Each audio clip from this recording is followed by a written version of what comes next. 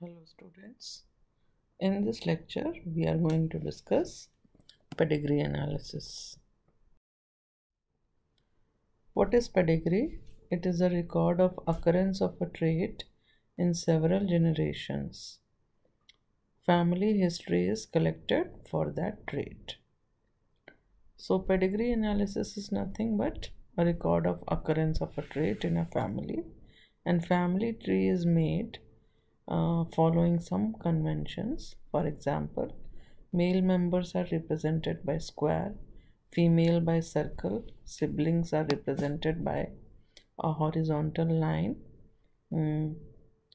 Solid symbols represent the trait being investigated, and open symbols represent normal individuals for that trait. For example, in this pedigree, you can see that the solid represents the trait being investigated and the open circles represent so this normal, is the representation the of is not um, symbols which are used in pedigree. For example you can see that males are represented by square females are represented by circle affected individuals are represented by solid um, circle and square.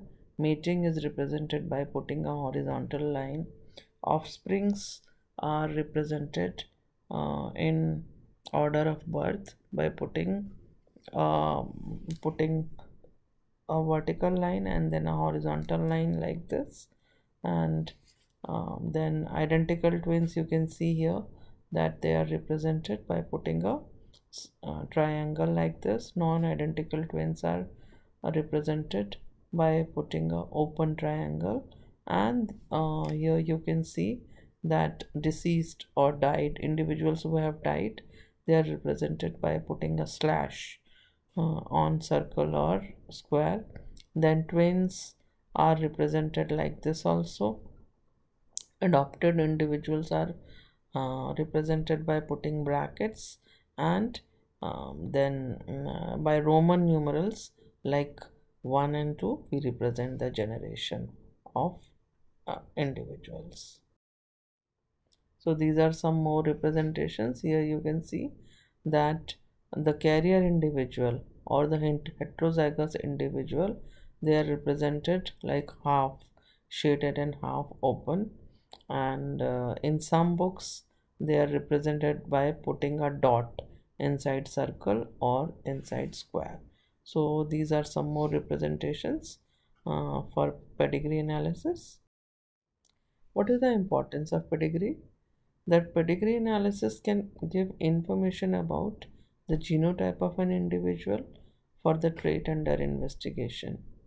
It is also useful for hereditary studies in sexually reproducing organisms and it can also give information uh, to the would-be couples regarding the danger of certain genetic defect which might run in their family so you can refer different books for uh, representation of different symbols.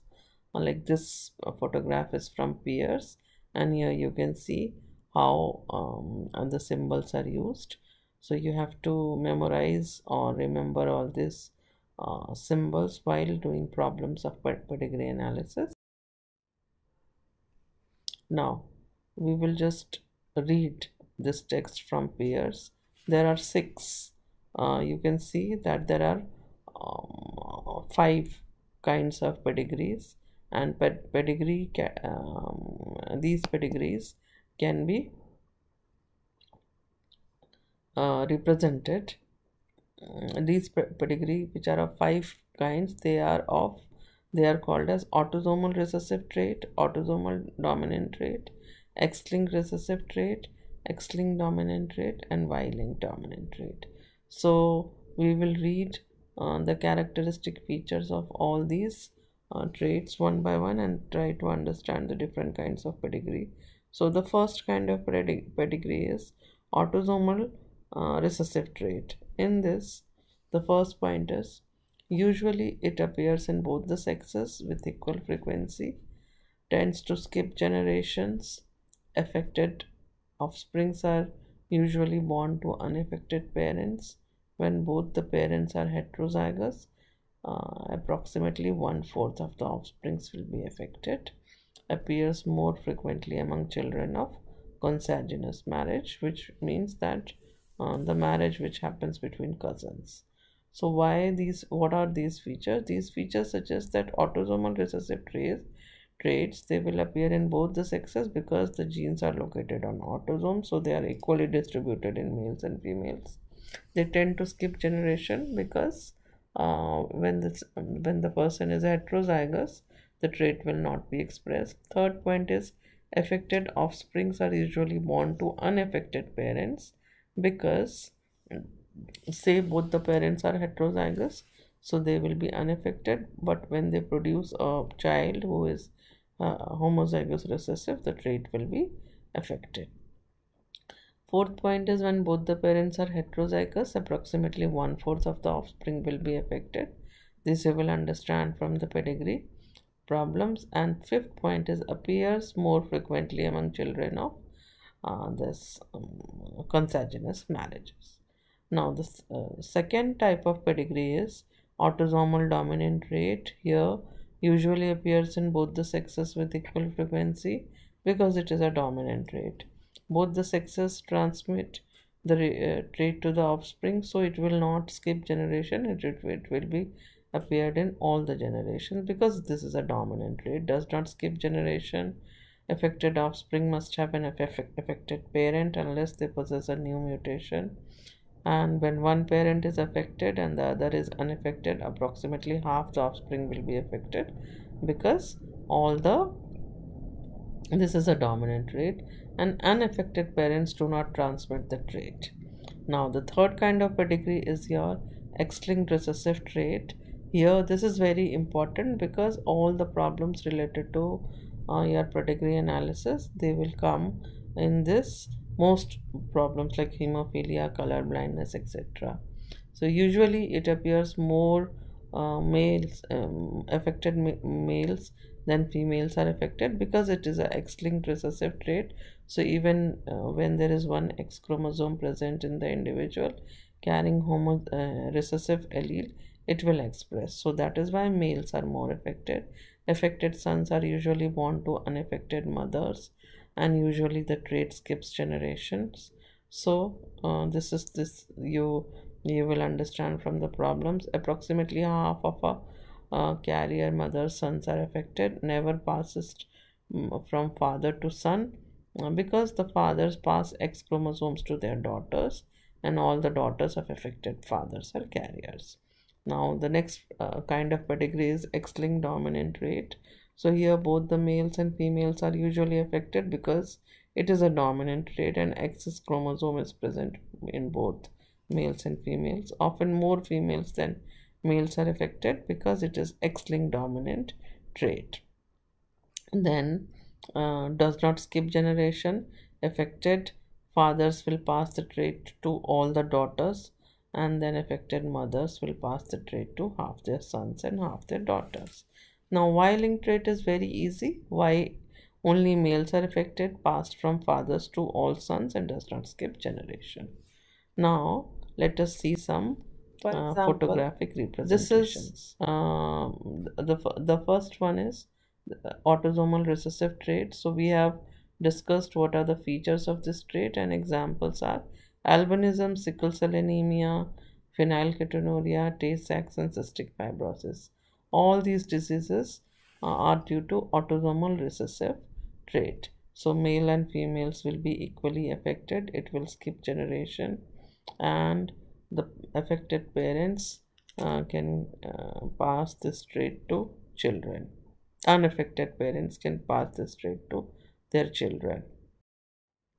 Now this is a pedigree of um, this autosomal recessive trait where you can see that in the first gener- when the parents this is uh, this is your um, mother and father when they get married they give they produce three children. Out of these three children the second one uh, the third one third uh, you can see in this pedigree it is represented by third number three which is red. So this girl is affected.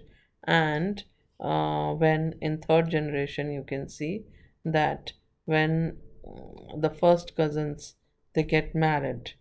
Uh, so they produce children and in this children in fourth generation and the second child who is a male he is had this is affected. So when you uh, work out the uh, genotypic um, genotypes of these affected individuals you will you will have to uh, hypothesize what can be the, the, genotypes of these individuals. So you, you can see that the fourth in fourth generation the child affected child is carrying homozygous recessive alleles from both the parents.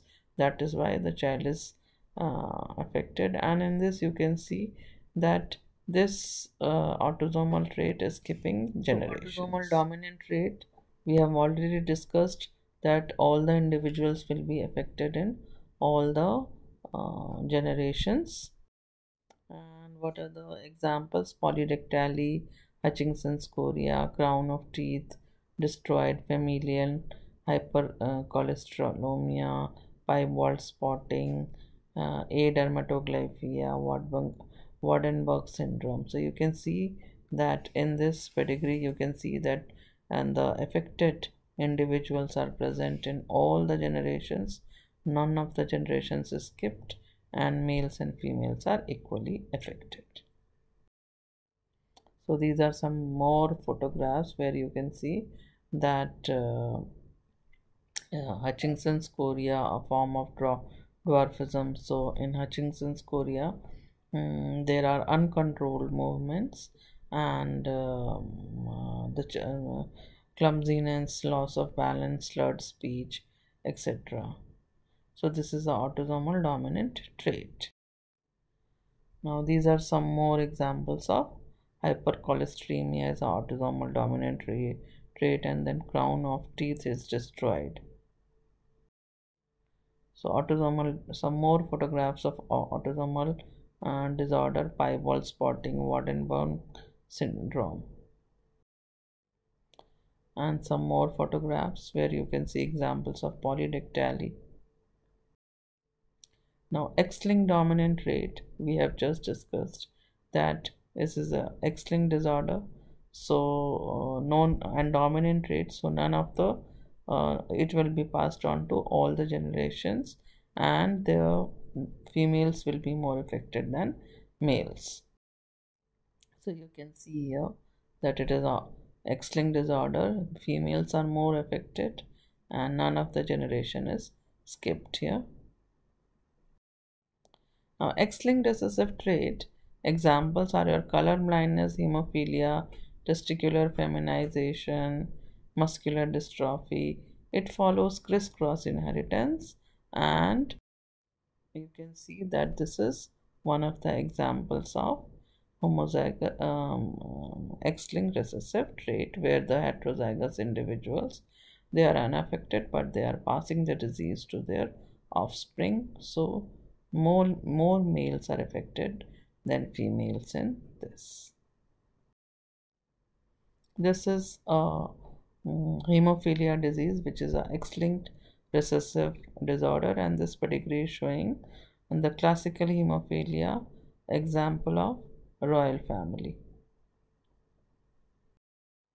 Y-linked traits are present in males only because it is carried on Y chromosome and you can see that this is the example of hairy ears.